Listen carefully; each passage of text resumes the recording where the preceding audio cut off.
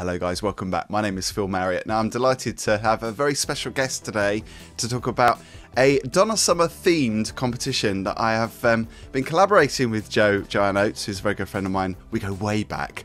But let me do the introduction first because the competition is to do with this album, which is celebrating a 40th anniversary for the 1980 album The Wanderer. I've got a fantastic competition with Pete Bellotte, who is responsible for this with Giorgio. He teamed up with him to produce and co write this album with Donna back in 1980. We are also doing a DJ stream on Sunday on my Twitch channel if you want to join me for that, 7 o'clock in the evening. That's GMT time. And also, we're giving away some fantastic art and the woman who's responsible for this art is Joanne Oatts. She is a freelance creative director and she hosts the Advertising podcast where she interviews inspiring LGBTQ plus people from the media industry and she was also a presenter and uh, also Joe in the Know on Gaydar Radio. We go back, what, 10 years ago? Was it 10 uh, 12, years? 12 years ago, 12 years ago when Blimey. I met you in Gaydar Towers. Yeah. And we sh- we we bonded over our love of Kate Bush. I think I remember. Absolutely. Yes. I can't believe it's 12 years ago. It doesn't feel like it. It feels like yesterday, doesn't it? But yeah, yeah, crazy times. Anyway, this is really exciting because we are collaborating on this. I'm so thrilled that you have joined up with me to do this.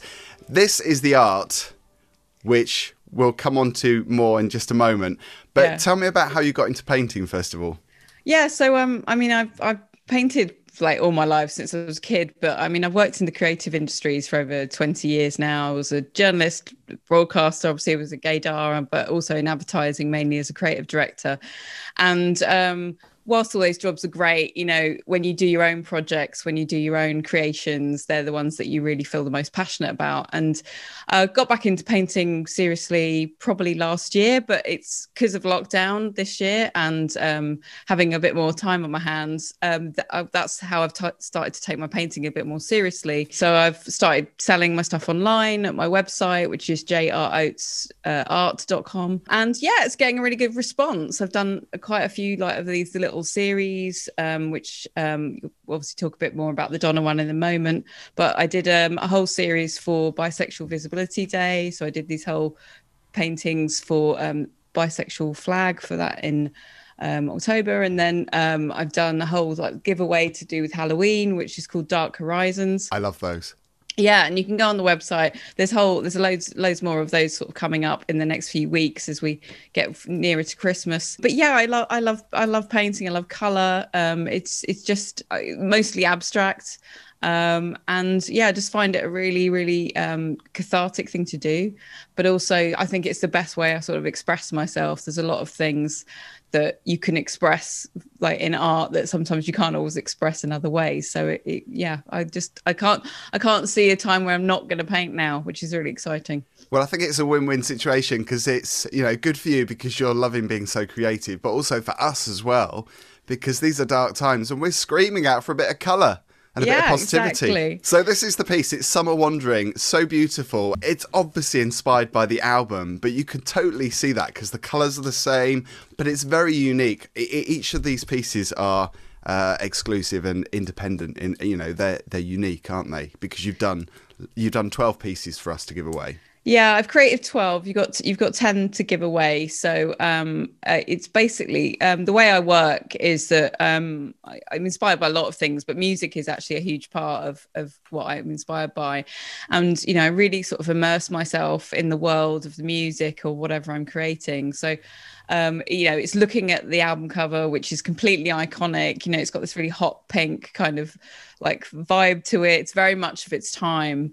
But you know, she's she's in a kind of pivotal part of her career here. So she's dancing around different genres. There's still a little little bits of elements of disco in there, but you know there's also little bits of pop and rock and there's there's um you know the running for cover on there which is sort of sort of dancing around in with rock opera. It sounds a bit like bat out of hell which had just come out i think. Um and you know there's sort of some more electronic stuff going on uh, we've got Grand Illusion, which I absolutely love that track. It's just it's sort of a sort of synth wavy, new wave kind of thing.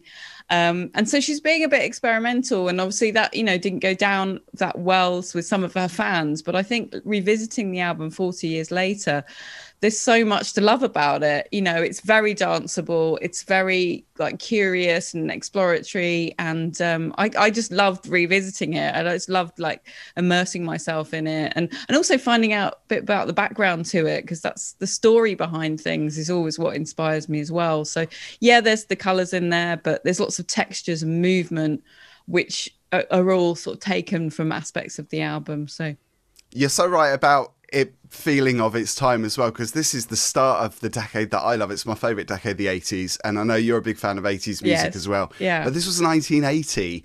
Yeah. And let's not forget also that you say that that is of its time, the the imagery, the artwork on that album, but it feels really current, doesn't it? Because so many Yeah. people are inspired by by that decade, particularly when you see uh, TV shows like Stranger Things. It's all very synth. It's all very neon and colours. Yeah, and also, you know, I'm I'm I'm abstract artist mainly, and I'm uh, influenced by sort of Kandinsky and uh, Lee Krasner, but also street art and pop art, which you know, a lot of street art at that time was really coming into its own and being appreciated in the art world. So those colours that are used a lot in street art, and also just that sort of splashes of colour and splatters and movement. It's it's that's what's inspired me, and you can kind of feel that energy a little bit in the album. I'd love to see you do more of these for other artists. Would you do those? Would you consider doing other artwork for from album covers? Yeah, I mean, I've I've got a series on my website called Sounds of Space where I've started to experiment with song lyrics, and and I'd love to sort of, uh, you know, if there's any other record companies or publicists or artists even out there who would love to collaborate, please please get in touch because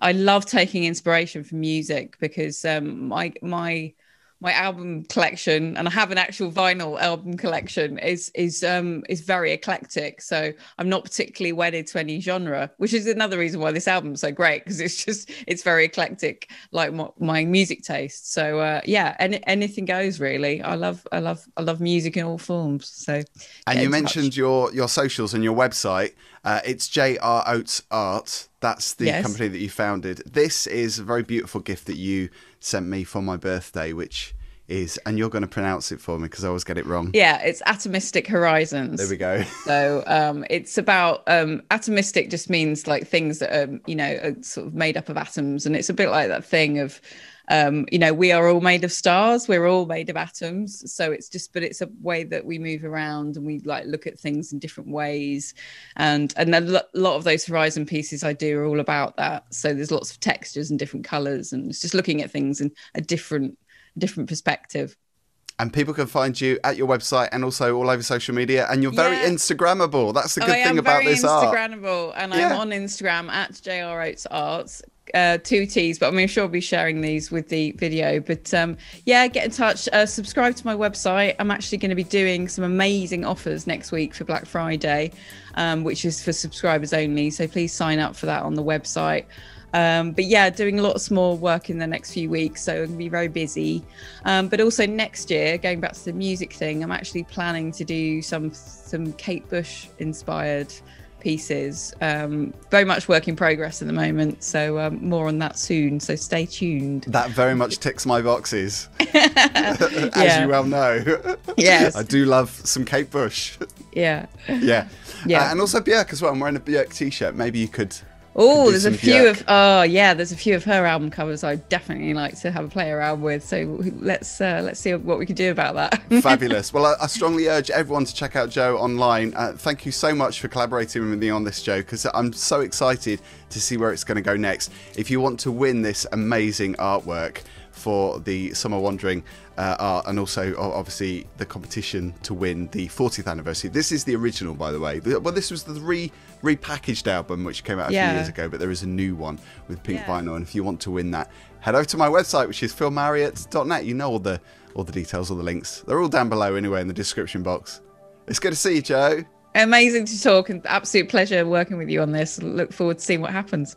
Excellent. Stay safe. Lots of love. Take care. Bye.